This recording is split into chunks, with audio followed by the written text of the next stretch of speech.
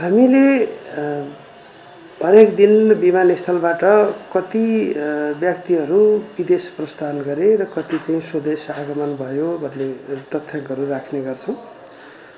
त्यो हिसाबले हेर्दाखेरि हामीसित हरेक दिनको आगमन र प्रस्थानको अभिलेख हामीसित छ।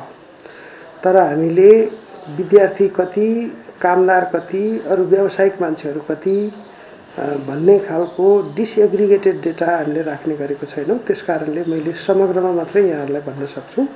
निसन्तान सम्बन्धी विभिन्न समस्याको सफल उपचार अब नेपालमै सम्भव छ।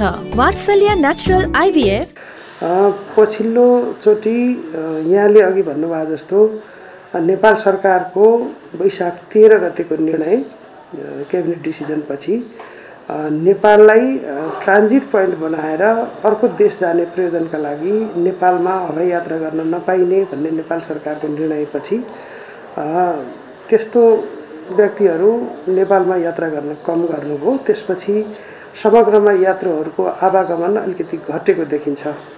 त्यो निर्णय अघि यहाँले भन्नुभयो जस्तो कोभिडको सङ्क्रमण फैलिन नपाओस् भन्ने हिसाबले अत्यावश्यक मान्छेहरू मात्रै याद यात्रा गरून् तर तेस्रो देश जाने प्रयोजनका लागि नेपालबाट यात्रा गर्ने प्रवृत्ति कम होस् भन्नका लागि यो निर्णय गरिएको थियो। र त्यसले यात्रुहरूको आवागमन घट्नुलाई हामी स्वाभाविक मान्दछौँ। केही दिनसम्म यात्रुको आवागमन घटेको थियो। पछिल्लोचोटि उन्नाइस गतिको मन्त्री परिषदको निर्णयबाट तेइस गते राति आज राति बाह्र बजेबाट अन्तर्राष्ट्रिय उडान बन्द गर्ने भन्ने निर्णय भइसकेपछि यो बिचमा अत्यावश्यक कामले आफ्नो देश फर्कनुपर्ने विदेशी नागरिकहरू र विदेशमा रहेका नेपाली नागरिकहरू जो नेपाल फर्कन चाहनुहुन्थ्यो उहाँहरू अब केही समय यो बन्द हुन्छ एयरलाइन्स भनेपछि आफ्नो चाहिँ सेड्युल चेन्ज गरेर आउने जाने क्रम बढेको कारणले पछिल्लो एक दुई दिन चाहिँ यात्रुहरूको आवागमन बढेको देखिन्छ।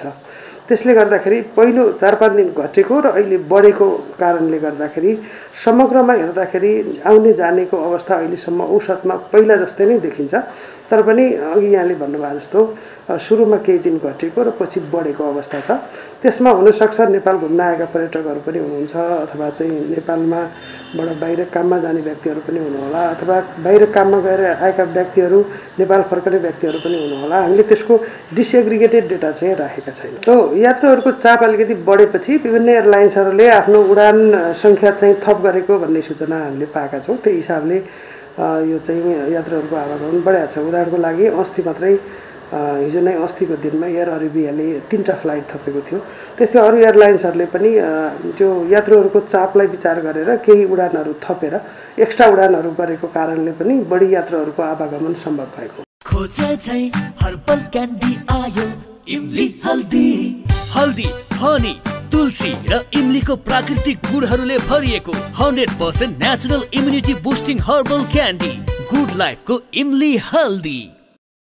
यो विषयमा आधिकारिक निर्णय गर्ने चाहिँ यो सिभिल सिभिल एभिएसन अथोरिटीले हो जुन चाहिँ यो पर्यटन मन्त्रालय अन्तर्गत पर्छ। उहाँहरूले निर्णय गर्नुहुन्छ। मैले पाएको जानकारी अनुसार आज राति बाह्र बजेभन्दा अगावै विदेशबाट प्रस्थान गरिसकेका र यहाँले भन्नुभएको जस्तो ट्रान्जिट भएर आउनुपर्ने जहाजहरू भोलि बिहान दुईवटासम्म चाहिँ आउन दिने गरी एग्रिमेन्ट भएको मैले बुझेको छु त्यो हिसाबले भोलि बिहानसम्म यहाँहरूले प्लेन आएको देख्न सक्नुहुन्छ तेह्र गतिको मन्त्रीपरिषदको निर्णयपछि दैनिक बिस पच्चिस प्रतिशतले आगा आवागमन सङ्ख्या घटेको थियो सरदरमा अघिल्लो दिनभन्दा अर्को दिन बिस प्रतिशत कम अर्को दिनभन्दा अर्को दिन बिस प्रतिशत कम त्यो हिसाबले बिस पच्चिस प्रतिशत कमी भएको थियो उडानमा यात्रुहरूको आवागमनमा। तर पछिल्लोचोटि त्यसलाई कभर गर्ने गरी तिस चालिस पर्सेन्टले आवागमन सङ्ख्या बढेको छ पछिल्लो दुई दिनको हेर्दाखेरि। मैले अघि पनि भनेको छु समग्रमा हेर्दा औसतमा उस्तै देखिन्छ तर सुरुको केही दिन घटेको र पछि बढेको अवस्था चाहिँ छ। त्यही हो। आवागमन दुइटै घट्ने बढ्ने दुइटै एउटै रेसियोमा भएको छ।